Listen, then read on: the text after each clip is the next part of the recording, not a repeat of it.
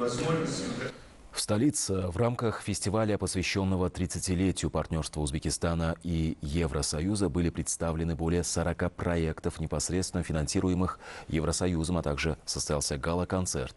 Все это знаменовало начало серии мероприятий, приуроченных к юбилейной дате.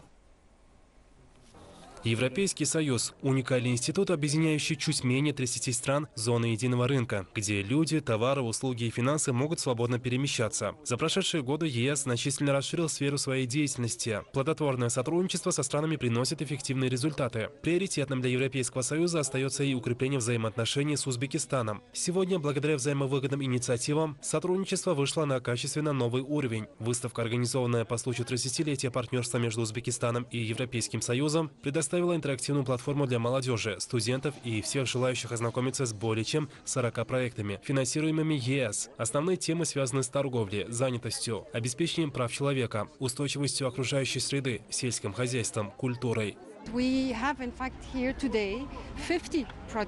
Мы представили здесь 50 проектов в самых разных сферах. Вся работа, осуществляемая при участии Европейского Союза, нацелена внести вклад в дальнейшие реформы Узбекистана. Наша цель – предоставить возможность, в частности молодежи, ознакомиться с тем, что было сделано и с тем, что будет сделано. Для нас это дата. Этот праздник в первую очередь ассоциируется с проявлением солидарности. Именно благодаря тесному взаимопониманию с Узбекистаном мы достигаем таких значительных результатов. Буквально год назад у нас было порядка 25 совместных проектов. Сегодня их число достигло 50. Реформы Узбекистана для нас значимы тем, что они осуществляются в первую очередь во благо народа. И мы намерены укреплять наше сотрудничество впредь.